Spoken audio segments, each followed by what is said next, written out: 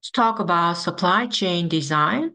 How can we design a supply chain that's appropriate for your product? Let's take a motivating example. Barilla is a pasta manufacturer. Pasta is a product with relatively stable customer demand with a low demand uncertainty. Which supply design would you use to sell pasta? Through online channel or retail stores, and why? How about gourmet truffle sea salt? Would you sell it through online channel or retail stores, and why? We need to design our supply chains to support the competitive priorities of our products and services. Two types of designs are used, efficient supply chains and responsive supply chains. What do we mean by efficient supply chains? They focus on low cost, a consistent quality, and on-time delivery.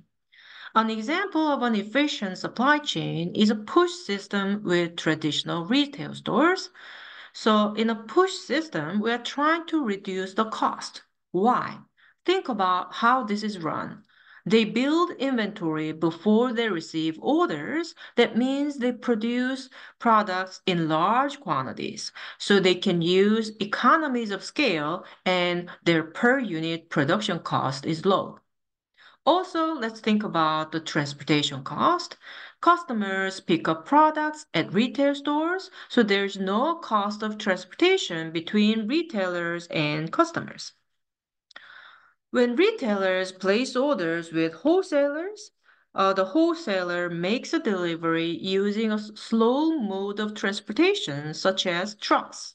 They don't use package carriers such as UPS or USPS. They can do this because the retailer already has inventory and there's no need to rush. So the cost of transportation between these two is low. Overall, the cost of transportation is low. Let's think about the cost of holding inventory.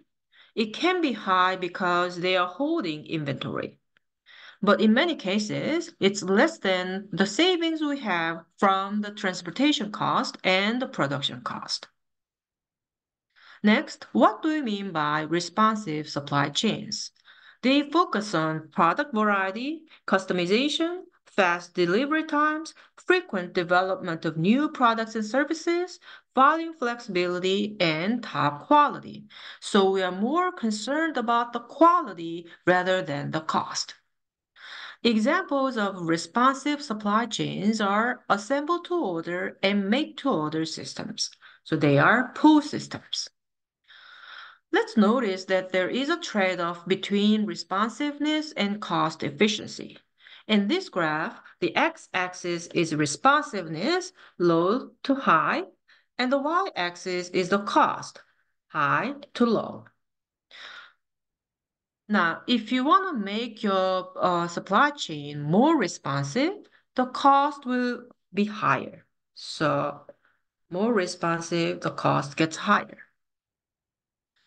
So for example, if you want to make your product more, uh, if you want to offer a greater variety of products, the cost goes up.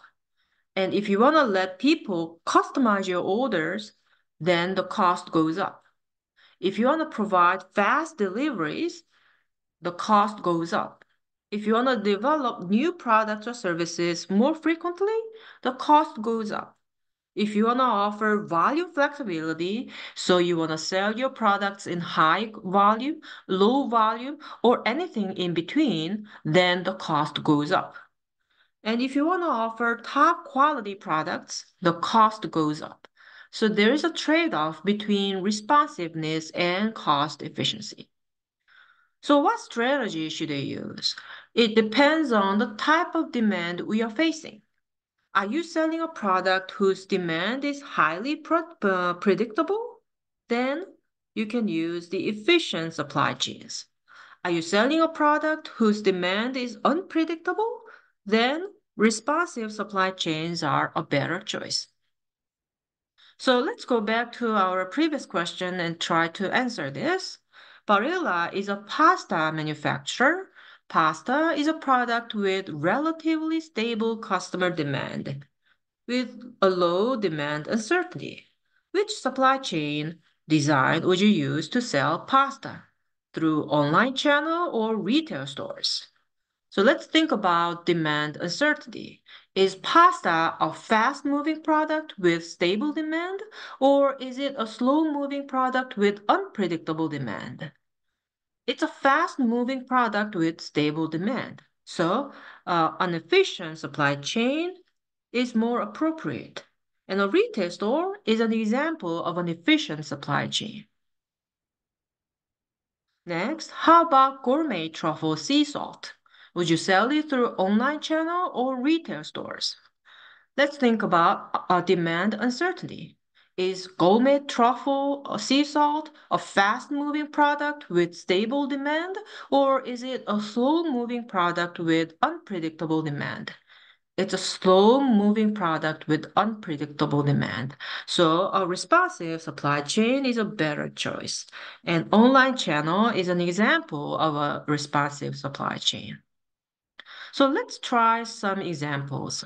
The competitive strategy of McMaster-Carr is to provide a large variety of MRO products delivered within 24 hours.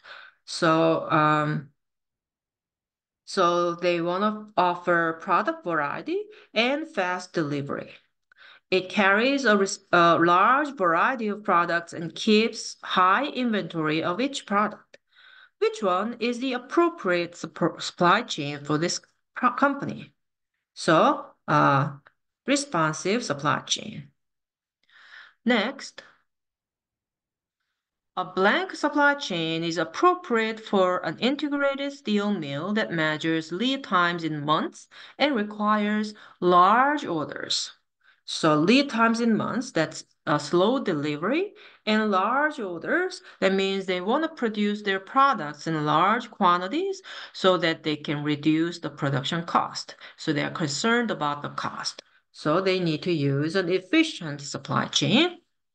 And a blank supply chain is appropriate for a steel service center that provides, uh, that promises 24 hour lead time, short lead time, and sells orders of any size, volume flexibility, so they are targeting for a responsive supply chain.